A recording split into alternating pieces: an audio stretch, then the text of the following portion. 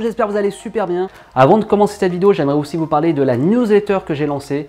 N'hésitez pas à vous inscrire juste en bas de la vidéo, vous allez recevoir les vidéos avant tout le monde, ça se trouve c'est le cas dans cette vidéo tous les bons plans, les astuces, bien sûr, avant toute la communauté. C'est un peu un club VIP de ma communauté. Enfin, si vous souhaitez me soutenir, n'hésitez pas à passer par moi pour votre assurance santé. Juste en bas de la vidéo, vous avez 5%.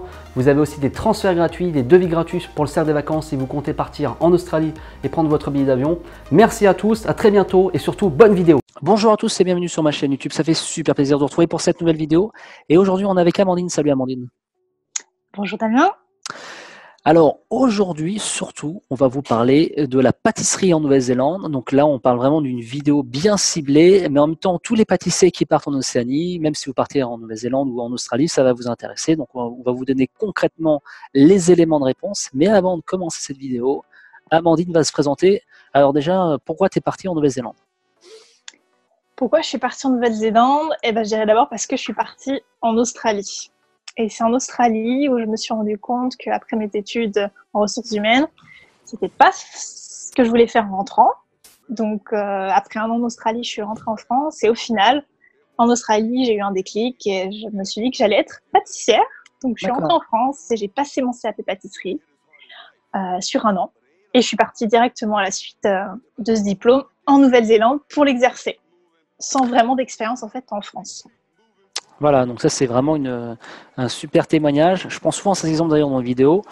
Euh, des fois, on se rend compte qu'on a des diplômes et finalement, qu'est-ce qu'on préfère? On préfère mettre les mains dans la farine, on préfère mettre ses mains dans le, dans le moteur, on préfère mettre, euh, voilà, faire des montages vidéo alors qu'à la base, tu étais destiné à travailler euh, dans un boulot bien spécifique. Donc finalement, c'est en prenant du recul qu'on se rend compte qu'on n'est pas forcément fait pour le métier. Et c'est ce genre d'expérience, les PVTistes, les PVT, qui vont vous ouvrir les yeux sur, euh, sur le plan professionnel. En tout cas, c'est l'objectif.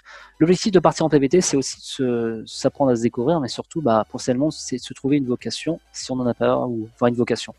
En tout cas, c'est de se trouver un métier, euh, soit qu'on avait avant ou après, mais on, qui, nous correspond.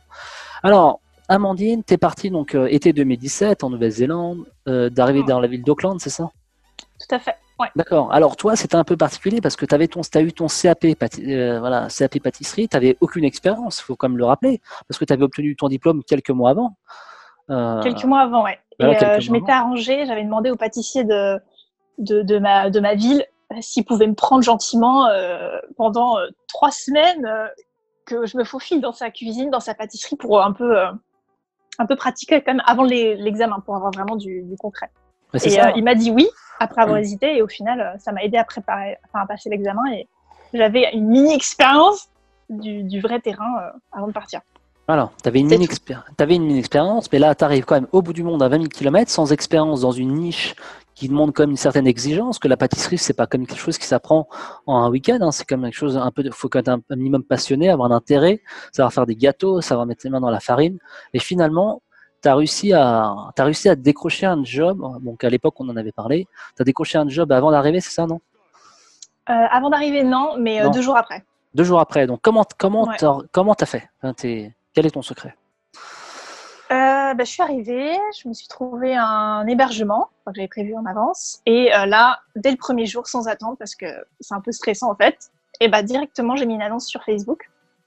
Direct en arrivant. j'ai ouvert un compte bancaire, enfin, toute la petite paperasse en une journée. Donc on vous rappelle, hein, euh, si vous partez en Nouvelle-Zélande, on vous rappelle, hein, on ouvre un compte bancaire. Hein, donc chez la Westpac, par exemple, ça marche très bien. On fait une demande de numéro IRD, qui est ton numéro de, taxe en Nouvelle-Zélande. Voilà. et après, et après, euh, tu as des conseils à donner. Qu'est-ce qu'on a besoin d'autre? Éventuellement ouvrir ligne téléphonique? Ça peut servir. C'est ça, ouais. Bon, soit Téléphone, voilà. Euh, IRD et moi c'est ça. alors Amandine, tu avais choisi quel opérateur à l'époque?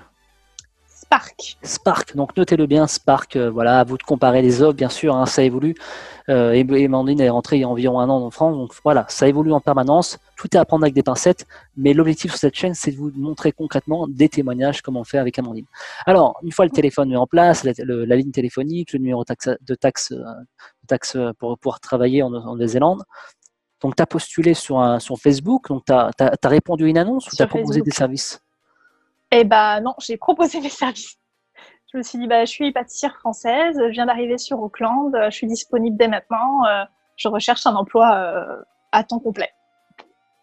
Et une pâtisserie m'a répondu en me disant qu'il cherchait quelqu'un, justement, et que je pouvais passer euh, dès que possible pour faire un essai. D'accord. Et ça faisait un moment déjà qu'ils cherchaient un pâtissier, parce que leur pâtissier allait partir en, en road trip, parce qu'il était aussi en TVT. Et du coup, ils avaient besoin de trouver quelqu'un euh, très rapidement.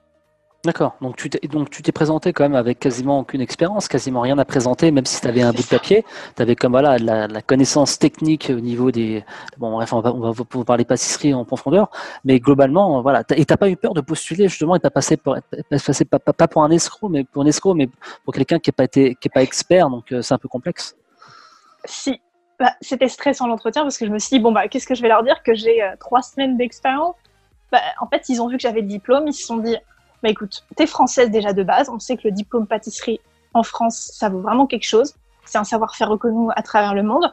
Donc, on va te laisser ta chance. De toute façon, en Nouvelle-Zélande, ça marche comme ça, c'est comme en Australie. On te met à l'essai, on voit ce que tu vaux. Pas, Exactement. on regarde son CV. On te met à l'essai, on voit ce que tu vaux. Et là, elle vient de tout résumer en l'espace de quelques secondes. On vous laisse votre chance. Alors, après, à prendre bien sûr avec des pincettes. Moi, si je postule dans la pâtisserie, on va me dire, mais attends, mais t'es un malade, toi. Toi, voilà, il faut quand même avoir, bases quand même. faut pas avoir des bases, mais il n'y a pas besoin d'être un expert. On va, on va vous laisser votre chance. Tant que vous avez, savez des bases pour savoir faire par exemple, des fraisiers, savoir faire des, des éclairs au chocolat, on vous demande pas d'être un expert.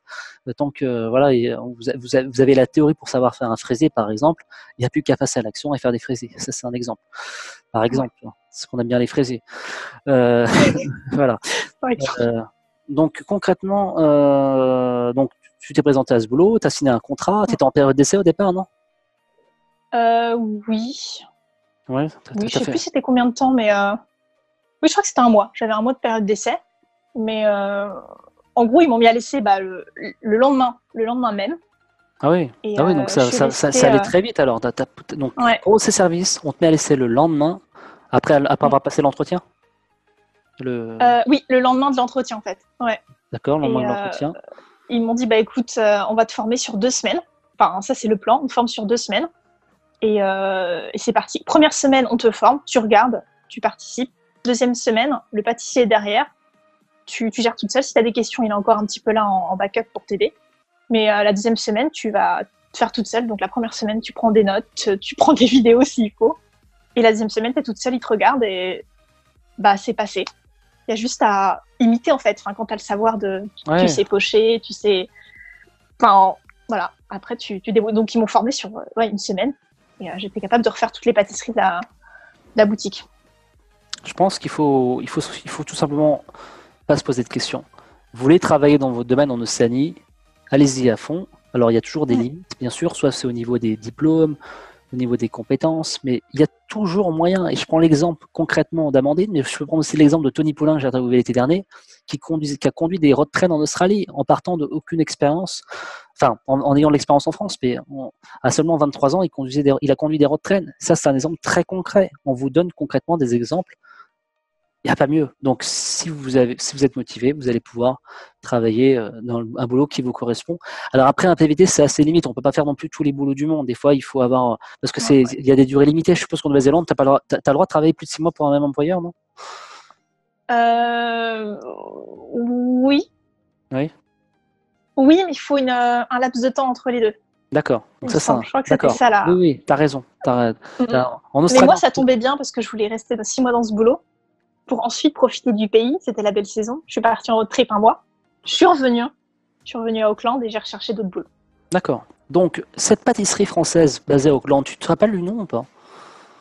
Oui, euh, Pyrénées.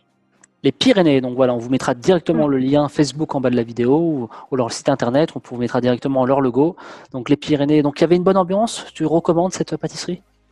Très, oui, oui. Enfin, là, quand j'y étais, en tout cas, euh, le staff était euh, adorable. Ils avaient même fait un reportage sur 60 minutes, que j'avais Ah. 60 minutes inside, je trouve comme ça. ouais. Ouais. J'avais pas regardé, mais euh, au final, on me l'a dit après, et oh, ils, sont, ils, ils sont connus, quoi. Enfin, pâtisserie française, on, on tombe assez rapidement sur, sur ce. D'accord. Alors, c'est c'est une chaîne, non? Pas du tout. Non, non, il y a qu'une boutique, mais ça fait des années qu'elle est, qu'elle est là-bas, et donc du coup, de bouche à oreille, elle est connue. D'accord. Et, alors, la question qu'on va se poser, c'est qu'on a beau être un expert en pâtisserie, toi, j'en ai pu rencontrer plusieurs pâtissiers euh, dans la vraie vie, toi, qui voulaient travailler en Océanie. Souvent, ce qui fait peur, c'est l'anglais, parce que forcément, on, a beau savoir faire des éclairs au chocolat ou des fraisiers, en anglais, ça change un petit peu tout, parce qu'il faut comprendre. Ça, ça- Est-ce que tu n'avais pas trop peur, justement, par rapport à l'anglais? Bah, l'anglais, du coup, je l'avais euh, peaufiné et euh, amélioré en Australie. Donc, il n'y avait plus cette barrière. Enfin, en Australie, j'avais encore cette peur. On arrive en Australie, mais pendant, bah, je me suis améliorée et il n'y a pas le choix. De toute façon, tu es Ah toute ouais. seule, faut trouver du boulot. Tu te fais à la langue. Et donc, du coup, l'anglais, c'était pas un souci quand je suis partie, du moins. Ah ouais. De toute façon, je pense Mais travaillant dans une pâtisserie française, dans tous les cas, euh, ça parlait aussi français. Ah la moitié oui, du staff voilà. était français. Voilà, c'est ce qui euh, risque d'arriver si vous travaillez dans la boulangerie, dans la pâtisserie en Océanie. Mm. Il y a de fortes chances, entre guillemets, de tomber sur des Français, ou voilà, au moins qu'en cadre. Euh, voilà, en ayant par exemple travaillé dans la restauration française à Sydney, il y avait euh, le cuistot était français par exemple. Il y a au moins une base française. Forcément, on a un savoir-faire qui est quand même reconnu à l'échelle internationale. C'est aussi ça l'avantage. Euh, donc, c'était payé combien à l'heure concrètement? Alors, j'aime pas trop parler d'argent, mais bon, oui, c'est vrai que c'est concret. Euh, à l'époque, Ah. c'était 18, D'accord, donc 18 18 dollars néo-zélandais. Voilà, 18 dollars new-zélandais. Alors, où on parle, c'est quasiment équivalent à 1,50$. Voilà, on pourrait faire des recherches, ça va évoluer. Donc, c'est pas trop ça, mal. ouais. Euh, sachant qu'en Nouvelle-Zélande, on vous le répète et on vous le répète, on récupère ses taxes. Donc, c'est 18 ça. dollars dans la poche. Même si on paye une, une partie des taxes au départ, euh, on peut les récupérer après. Alors, on tourne cette vidéo. L'automatisation de, la- récupération des taxes ont été mis en place il y a quelques semaines, donc on vous rassure, vous n'avez plus rien à faire si c'est d'attendre l'argent qui tombe sur votre compte automatiquement. Donc bien sûr, avoir créé le numéro IRD et l'argent tombera automatiquement. Donc si vous avez d'autres questions, je vous propose d'aller directement vous rapprocher au niveau de la trésorerie de la Nouvelle-Zélande. Alors, donc euh, voilà, un bon salaire, etc. Tu travaillais combien d'heures par semaine? Euh, bah, je suis arrivée juste avant la période de Noël, hein. enfin, euh, ouais, septembre. Donc, on préparait Noël, entre guillemets, création des, des bûches et des gâteaux et tout. Donc, c'était beaucoup d'heures de, de recherche, de création aussi. On m'a demandé de créer Ouais. des desserts. Ah oui, la création. Euh, donc, c'était beaucoup d'heures. Je faisais entre euh, 45, je crois, et euh, 50, 55 heures D'accord. par semaine. Donc, tu avais un forfait. Donc, tu étais payé à l'heure, on vous le rappelle, 18 dollars de l'heure. payée à l'heure, ouais. en toute transparence. Et par contre, tu- tu- tu- plus tu faisais d'heures, plus tu étais payé, c'est ça Forcément. C'est ça, ouais. C'est pas comme. en- D'accord, ok. Donc ça, c'est Et euh, intéressant. plus tu fais de ventes en fonction des journées, plus tu dois faire de, de pâtisserie. Donc, euh, s'il fait beau, on vend beaucoup. S'il fait moins beau, on vend moins. Mais du coup, les, les journées, on sait jamais. On sait quand est-ce qu'elles commencent. On sait jamais quand est-ce qu'elles terminent. Ah ouais, je me suis jamais, j'ai jamais fait le lien entre les ventes et le, et le beau temps dehors. D'accord, c'est intéressant. Ça joue. D'accord, joue. ça joue, ouais, bien Mm. sûr. Euh, donc finalement, aucune expérience, un anglais correct, mais pas non plus le meilleur anglais de tous les, du, du monde. Et on, finalement, tu as réussi à faire tes preuves. Et je pense que, comme a dit Amandine il y a quelques minutes, on vous laisse votre chance. Euh, bien sûr, ça c'est limite hein, de laisser votre chance, mais en tout cas, si vous avez, vous avez un embryon de savoir ou de motivation dans, une, dans, une, dans un domaine bien particulier, il y aura toujours moyen. Et ça, je vous, je vous, je vous de, référence, par exemple, la vidéo de Cindy récemment qui donnait un intérêt pour conduire des tracteurs sans aucune expérience. Ça fait six mois qu'il conduit des tracteurs en Australie. Allez voir la vidéo. Si vous partez en Australie, ça peut être très intéressant.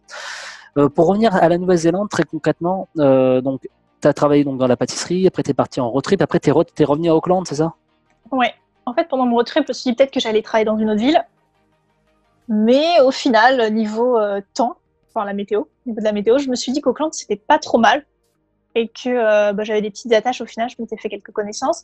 Donc je me suis dit j'allais euh, j'allais revenir à Auckland et j'ai postulé à une offre cette fois que j'avais vue en ligne sur les Ah. sites, je sais plus si c'était Indeed ou euh, quelque chose Ouais. comme ça, je sais plus. D'accord. Et pareil, euh, directement une réponse dans la journée. L'entretien, c'était bah, le lendemain aussi pareil. S'il y avait besoin de quelqu'un, en fait, les propriétaires venaient de racheter la boutique. Il y D'accord. avait besoin d'un chef, du coup, Ah ouais. parce que le leur euh, partait. Enfin, ils en avaient un sous le coude, mais il partait euh, peu de temps après. Et du coup, bah, euh, quoi, quatre jours après, je commençais. Ah, voilà, donc, donc, donc là, tu as postulé dans un, sur, euh, sur une mission euh, Indeed, enfin, Indeed euh, qui est. euh, Ouais, je crois que c'était une idée, ouais. Voilà, Indeed. Donc, tu avais pareil, et là, tu as retravaillé tout de suite. Donc, ça, c'est finalement, ça devient Mm. plus un hasard. Je pense que ce qu'il faut bien comprendre, si vous regardez cette vidéo, vous êtes pâtissier, vous êtes boulanger, vous avez envie de travailler dans ce domaine, les, témoignages sont toujours les mêmes. Enfin, les retours d'expérience sont toujours les mêmes. Ça recrute. C'est le genre de domaine qui. Ah oui, ouais. Donc, euh, boulanger, pâtisserie. La oui, restauration en général, il n'y a pas de souci pour trouver un boulot. hein. C'est quand on est motivé et qu'on. Ouais, Ouais, voilà. Donc, les euh, travailleurs. Exactement. Donc, tu as travaillé dans. Donc, la- l'autre pâtisserie, elle s'appelait comment, du coup? Alors, c'était à la fois, on faisait des desserts et des, euh, des lunchs aussi. Donc, cette fois, j'étais un petit peu cuisinière aussi. Parce que je voulais ajouter une corde à mon arc. Et surtout, c'était un endroit qui était plus euh, healthy, on va dire. Donc c'était, euh, on était quasiment un restaurant végétarien. Et qui faisait des pâtisseries véganes, par exemple, Ah oui, c'est partie. c'est un peu la mode euh, en 2019. Quoi. Donc, Ouais, euh, c'est ça. Donc finalement, tu as, pu retravailler euh, donc dans, un, dans un boulot, un peu avec un peu, un peu de restauration. Un peu de restauration. Mm. C'est très bien. Euh, et euh, donc dans tout ça, qu'est-ce qu'on va retenir comme leçon? On va retenir que, comme on vous l'a dit, sans expérience, elle a pu travailler. Est-ce que tu as rencontré des difficultés particulières pendant, pendant tes boulots en Nouvelle-Zélande? Par rapport à, dans la pâtisserie, des, des trucs qui t'ont un peu semblé un peu bizarres, la façon de travailler, ou des, points positifs comme négatifs Est-ce que tu as, que as oublié? Ben, en point négatif, euh, j'en retiens pas. Enfin là, tout de suite, ça me vient pas. Voilà. Euh, moi, le gros point positif, je me dis, c'est que bah, juste parce que j'étais française et que j'avais un diplôme en pâtisserie, et ben tout m'était possible. Enfin, c'était très facile pour moi de trouver un, un boulot en fait, rien que d'avoir des essais. Même si après, en fait, c'était comme si j'avais les clés en main en fait, le pouvoir de décider, parce qu'il y avait pas mal d'offres. Donc après, c'était moi qui acceptais ou pas en fait. Mais ça pouvait aller très très vite en fait, de trouver un boulot. D'accord. Donc, Donc, là, euh, donc ça c'est ça c'est intéressant pour ceux qui, euh, si vous êtes français, etc. C'est vrai que on, marque des points. Après, on a un Mm. diplôme, on marque d'autres points, même si je pense vraiment que le CAP pâtisserie n'est pas reconnu en, en, en Océanie. Hein, c'est pas les mêmes normes exactement. On va plus vous juger sur euh, ce qu'elle veut dire votre, votre bout de papier. Enfin, on va pas juger votre bout de papier, on va juger surtout Mm. L'intérêt, la motivation que vous allez dégager pendant, pendant votre période d'essai, tout simplement. En Australie, on décroche un boulot rapidement, mais on peut le perdre aussi. En, Austra- en Australie, Nouvelle-Zélande, on peut décrocher un job, mais on peut le perdre aussi rapidement. Attention.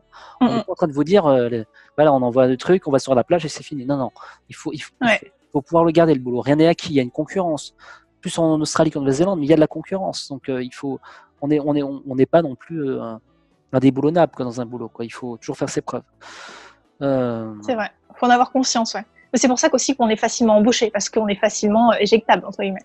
C'est ça. Y a Donc, pas la on n'est pas en, on pas en CDI, on n'est pas, enfin voilà, il y a, ça va vite dans les deux sens. C'est ça aussi la vraie difficulté, c'est que en France, on- moi je pense au système un peu comme un, en France, c'est un peu comme une locomotive à vapeur. Où en fait, quand tu es en CDI, en CDD, tu es un peu intouchable entre guillemets. En Océanie, c'est pas vraiment un système à vapeur, c'est un système qui va peut-être plus vite, mais qui peut tomber en panne encore plus rapidement. Tu vois. Donc ça peut, ça peut être dans les tranchants, euh, s'arrêter aussi plus rapidement. Donc, il n'y a pas vraiment de sécurité d'emploi. Mais bon, globalement, si vous êtes motivé et que vous ne faites pas de bêtises, euh, fou- foutez pas le four, hein. foutez le feu euh, dans, dans votre pâtisserie j'en sais rien, il vous arrivera rien de. Je vois pas comment vous, vous allez vous faire. euh, voilà, il n'y a, y a pas d'inquiétude. Hein. Ça va bien se passer. Voilà. Euh, après ce deuxième job, du coup, tu as continué ton aventure en Nouvelle-Zélande, tu as fait un road trip, qu'est-ce que tu as fait? Euh, non, bah, j'avais fait mon un mois de road trip donc sur les deux îles. J'avais fait les deux îles. Donc, euh, à la suite, donc deux- deuxième boulot, j'y suis restée, restée que deux mois. Parce qu'au Mhm. final, ça me correspondait pas forcément de faire euh, Ouais, du deux salé aussi. Ouais, ça- Enfin, les deux. J'ai testé, mais bon, Oui. j'ai appris des pâtisseries véganes, ça m'a. Voilà, j'ai appris. Donc, du coup, j'ai retrouvé euh, autre chose en fait. J'ai commencé à chercher ailleurs et euh, je leur ai dit que j'allais partir. Et euh, ils m'ont laissé une semaine. Donc, bah, parfait. Et j'ai trouvé un boulot dans une pâtisserie française cette fois, mais qui ouvrait, en fait, qui venait d'ouvrir. C'était un gérant qui avait déjà euh, deux restaurants et il ouvrait une pâtisserie cette fois, française. Et euh, pareil, bah, j'ai vu l'annonce, j'ai envoyé mon CV et quoi, une minute après que j'envoie mon CV, et je pense qu'il l'a lu directement, il m'a appelé, il m'a dit bah, quand est-ce qu'on peut se rencontrer? Le lendemain, je faisais les essais, le surlendemain, quand je commençais. C'est fou. D'accord. C'est dingue. Donc euh, très très vite. À chaque fois, c'est allé très très vite. Ça va très vite. C'est incroyable. C'est impressionnant. Mhm. Euh, et du coup, cette Et troisième j'y suis restée jusqu'à la fin de, de mon visa. Excuse-moi de te couper. Ouais. Donc les trois mois qui restaient. Euh, et du coup, Amandine, cette pâtisserie s'appelait comment Cette troisième pâtisserie? La petite fourchette. La petite fourchette, donc notez-le bien Mm. directement sur, sur votre téléphone. Si vous regardez cette vidéo, vous êtes, vous êtes dans votre van au milieu de nulle part, vous êtes en, France, euh, notez-le bien sur votre téléphone. Donc euh, voilà. Euh, globalement, tu as fait trois, euh, trois, trois entreprises différentes. À chaque fois, tu en as tiré un bon bilan au niveau de l'ambiance, euh, du savoir-faire. euh, Enfin, ça c'est bien. Oui, Ouais. à chaque fois, oui, oui.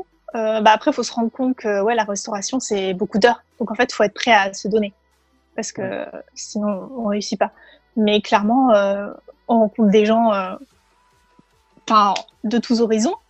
Donc c'est hyper enrichissant. Et euh, bah, moi, j'ai appris d'autres aussi. Par exemple, mon chef dans la dernière entreprise, il travaillait dans des palaces parisiens, ah des Français, et du coup j'ai énormément appris de lui aussi en fait. Ah Donc c'était hyper enrichissant. D'accord, donc ça c'est intéressant. Donc euh, bah, le bilan en tout cas d'Amandine, il est excellent les amis. Ça, prouve encore une fois de plus, et on vous le répète, qu'avec de la motivation, de la détermination, avec un minimum d'anglais, on peut franchir euh, euh, toutes les étapes. Gravir des montagnes. Gravir des montagnes entre guillemets, pour pouvoir justement travailler soit dans son domaine, soit dans des boulots finalement qui, où on pensait qu'à la base c'était pas accessible, et finalement euh, rien n'est jamais euh, impossible, surtout en Océanie. C'est des pays qui sont en plein développement, donc forcément on a besoin de main-d'œuvre, on a besoin de main-d'œuvre qualifiée. Euh, ça peut être valable dans plein de domaines, hein, matière grise ou pas. voilà, on a besoin de gens en tout cas qui ont un savoir-faire, et même sans expérience, Amandine vous l'a prouvé. Et si je pouvais ajouter une petite chose aussi, ça peut peut-être intéresser des personnes. Vas-y. Il y a de nombreuses possibilités de sponsoring. Pour ceux qui voulaient rester, je sais qu'ils proposaient. Moi, je ne voulais pas rester, c'était mon choix. Mais euh, j'ai rencontré beaucoup de personnes, et notamment des Français, qui sont restés. En tout cas, dans le domaine de la restauration, qui ont été sponsorisés à la suite. D'accord. Donc, euh, le, sponsor, on vous le, sponsor, on vous le rappelle, hein, c'est lorsqu'en fait on veut rester au-delà du TVT, en fait, l'entreprise et vous, vous allez être lié par rapport à, c'est une sorte de, c'est un contrat en fait, c'est une sorte, c'est un visa, voilà. Et en fait, euh, vous allez pouvoir rester et travailler. Vous allez dépendre de l'employeur. Alors après, le sponsorship en Nouvelle-Zélande, euh, vous partez à mon avis au moins sur du deux ans, à mon avis sur au moins deux ans pour euh, partir. Mm. Et après, éventuellement, quand ça se passe bien, c'est un, un, système à points. Euh, donc, vous pouvez éventuellement après avoir la résidence et la nationalité Nouvelle-Zélande. Ça, c'est ça, c'est les quelques années après. Voilà, c'est sur quelques années. Mais en tout cas, sur du court terme, ce qui est intéressant, c'est que le sponsor en Nouvelle-Zélande est beaucoup plus accessible qu'en Australie. Ça, c'est important. C'est qu'en Australie, malheureusement, le pays a été un peu victime de son succès parce qu'on gagne quand même beaucoup mieux sa vie qu'en Nouvelle-Zélande. Le climat est, quand même plus agréable. Euh, les villes sont quand même, j'irais pas peut-être pas, peut pas meilleures, mais voilà, c'est un peu différent. Plus attractive, ouais. Voilà, plus attractive. Donc euh, c'est devenu compliqué en fait d'immigrer en Australie. Autant en Nouvelle-Zélande, on peut immigrer assez facilement, enfin assez facilement. Voilà, Plus facilement, hein, ça je suis d'accord. C'est accessible. Et ce qui peut être intéressant finalement, c'est que si vous souhaitez un jour rester sur du long terme en, Australie, vous, vous, passez le sponsor, vous passez la résidence, vous, vous demandez la nationalité et après vous basculez en Australie. Une fois qu'on a la, la nationalité Nouvelle-Zélande, on peut travailler en Australie, un peu comme l'espace Schengen en, Europe. Donc ça peut être une stratégie qui est très intéressante à mettre en place parce qu'en Australie, ils ont coupé les vannes sur beaucoup de métiers. Euh, donc la plus facile en Australie, si vous voulez rester en dehors du sponsor, c'est de voir s'il y a des, le ski de visa. Hein. donc ça, je vous, je vous laisse euh, regarder sur, sur vous tapez ski de visa Australie. Mais en tout cas, en Nouvelle-Zélande, c'est devenu quand même, ça reste quand même très plus accessible. Donc c'est euh, voilà, l'Australie fait de l'ombre à Nouvelle-Zélande, donc c'est peut-être intéressant d'aller voir euh, ce qui se passe en Nouvelle-Zélande, même si le climat n'est pas pareil. C'est pas pareil, c'est pas du tout le même pays. Euh, le bilan de ton PVT du coup est très bon. Oui, que du positif. Ouais. Est-ce que tu as. Enfin voilà. Qu'est-ce que je peux dire d'autre? Euh, bah, C'est toujours des belles rencontres, hein, comme ce fut le cas en Australie, des expériences professionnelles top, enrichissantes. Bah, des paysages merveilleux durant le road trip. Enfin, moi, je suis toujours émerveillée par euh, ce que la nature a à nous offrir. Donc, c'est hyper ressourçant. Enfin, il y a quand même euh, une diversité de paysages et de, de, faune et de flore incroyable. Donc, euh, c'est magnifique. Enfin, j'inciterai tout le monde à, à, partir, que ce soit en, Australie, en Nouvelle-Zélande ou dans n'importe quel pays, juste pour avoir un petit, petit, choc culturel ou juste, ouais, je sais pas, être plus tolérant et, et s'ouvrir à d'autres choses, à de nouvelles choses. Voilà, donc ça c'est toujours motivant d'entendre ce genre de phrase. Et justement, alors pourquoi t'es pas resté en Nouvelle-Zélande? Qu'est-ce qui t'a, c'était pas dans tes projets? Hum, J'avais pas forcément de projet euh, bien défini, mais euh, j'ai trouvé que la Nouvelle-Zélande c'était quand même extrêmement loin. Oui. Euh, extrêmement loin. de l'Europe, de ma famille, de mes amis. c'est vrai que c'est contraignant. c'est ouais, c'est loin de tout quand même. Même de, de l'Asie, c'est pas forcément tout près non plus. Enfin, l'Australie, c'était plus, plus pratique entre guillemets. C'est vrai qu'en la Nouvelle-Zélande, c'est un peu comme la Calédonie. Quand on y est, bah, vaut mieux y rester parce que c'est vrai que c'est très contraignant. voilà. Si je peux me permettre de rajouter un truc dans cette vidéo, voilà, cette bonne vidéo. Le coût de la vie en Nouvelle-Zélande, attention, partez vraiment avec les fameux. De toute façon, d'ailleurs, on vous le demande d'avoir les 5000 hein, pour la Nouvelle-Zélande, mais partez vraiment avec 5000 dollars. Parce que la coût de la vie, le coût de la vie est quand même assez élevé sur tous les sens, les mm. logements, tout ça. Voilà, il faut quand même partir préparé, mais on, on décroche un job rapidement. Euh, juste pour terminer cette vidéo, dans la partie logement, tu avais, euh, comment tu faisais pour te loger en Nouvelle-Zélande? Ben, Je suis tombée sur une annonce euh, sur Facebook. Voilà, c'est vrai que maintenant, sur Facebook, c'est vrai que ça devient de plus en plus actif. Hein. Euh, mm. sur les groupes Facebook, par niche, par secteur, par domaine d'activité, par ville, par endroit, par thématique. On, on, trouve tout son bonheur sur Facebook, en tout cas à l'heure où on parle. Eh bien écoute Amandine, en tout cas c'était très sympa de ta part de faire cette vidéo. Si vous souhaitez aller plus loin, je vous mets directement l'Instagram d'Amandine. Si vous avez des questions sur cette niche, et euh, sur cette niche en demande. Et n'hésitez pas à la contacter pour toute question complémentaire. Je me décharge totalement de cette partie. je vois ça. De la pâtisserie. Et euh, donc, euh, merci, à, merci à toi en tout cas et bonne continuation euh, pour, pour le reste des aventures. Bah, merci. Si j'ai pu aider quelqu'un, c'est tout ce qui compte.